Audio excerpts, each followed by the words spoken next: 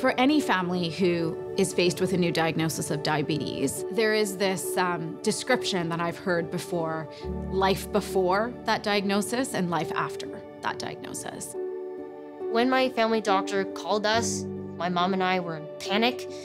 We were kind of like speechless. My mom was sobbing. And my doctor said Hennessy has to go to BC Children's Hospital. She has to go to the emergency room. She has type 1 diabetes. When you first learn about the diabetes diagnosis, well, you don't even know what you have to do. That's the thing. Your life is just instantly turned topsy-turvy. One thing people don't realize or don't understand is that it's a disease where it can be very life-threatening very quickly. You need to constantly manage, learn, monitor, deal with it because it's nonstop and it's it's a daily grind from the day you have it because you know, you realize you have all these things to take into account that you have to deal with. Everything all day, every day now must be managed and timed and counted and known and the innocence that children normally have and the fun and, and not having to have those cares has to end right now. The community of diabetes researchers are making huge strides in finding a cure for diabetes. In the meantime, however, there are 2,500 children living with diabetes in British Columbia, and two to three children are diagnosed with diabetes every week at BC Children's Hospital. I think it's a really exciting time to be in diabetes research. The ultimate goal is to predict, treat, and prevent diabetes in kids in uh, British Columbia.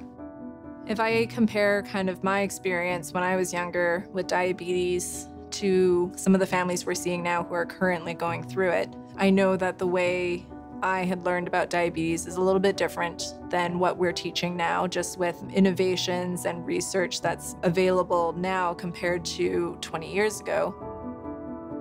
If you're diagnosed today with diabetes, the technologies available are fairly good. You can have continuous glucose monitoring coupled with an insulin pump. I'm really excited as I'm seeing research progress to see the field move towards uh, things like precision medicine. Diabetes doesn't look the same for everyone. It's kind of unique and it can't really be treated as an umbrella term or as an umbrella field where everyone's the same. And as we sort of learn more about how diabetes looks before and after diagnosis and even long term, we can kind of shape therapies to address the unique differences from person to person. But I think going forward, we'll really be driving towards a cell-based uh, approach to helping with people with diabetes. And, and that will allow the patients to not really even have to think about diabetes anymore. And research in my lab is interested in using stem cells as an unlimited source for insulin-producing cells that could then be transplanted.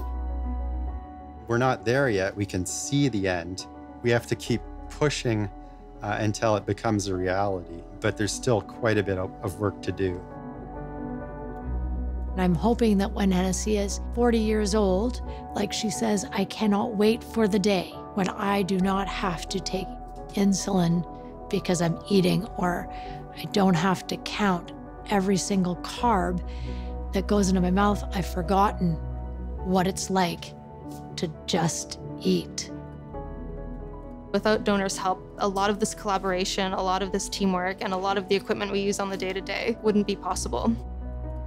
You can help transform the lives of children living with diabetes and help these children and their families live their best life. It's my hope that with all the, the strides and advancements in medicine and particularly uh, in the field of diabetes that even if a cure isn't found that hopefully that there are some medical advancements that will help Hennessy and kids like her lead a life of normalcy.